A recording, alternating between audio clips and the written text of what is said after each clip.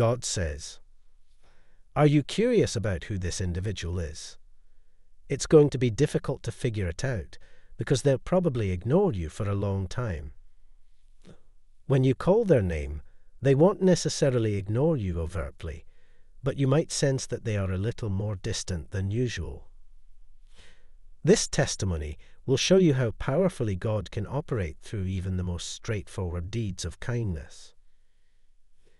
The ultimate aim is not to receive this award, but keep in mind that depending on their attitude, people can be aloof from others. So even if you think you've narrowed it down, you could still choose the wrong person. So it's better to just unwind and not think too much about it. It serves as a reminder to keep spreading love, kindness, and compassion into other people's lives in a mirror of the goodness you have already shown. The difference you have already made in the life of this well known person is just a small sample of the many lives you have the ability to influence. Continue to be firm in your dedication to bringing goodness to the world during this time of honour and recognition.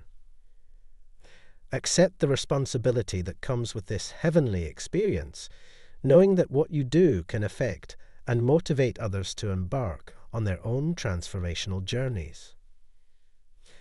Support our community and donate us through Super Thanks. If you're the kind of person who finds comfort in signs, the universe is about to provide you a few indications that this individual is prepared to face you. Someone close to you will probably be thinking about getting a cat or dog, as these are the two most popular breeds.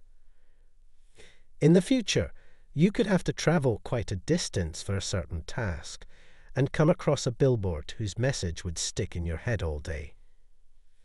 Continue to be a source of hope, a light, and a conduit for God's love.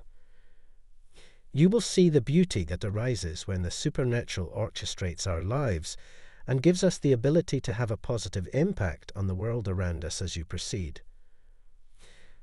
Our hearts are overflowing with thankfulness as we come before you, Heavenly Father. Recurring patterns will probably capture your eye because numbers and signs often go together.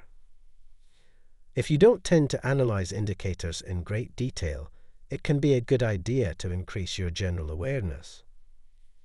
Remember that the universe sends you signs to serve as a constant reminder that everything will work out for the best.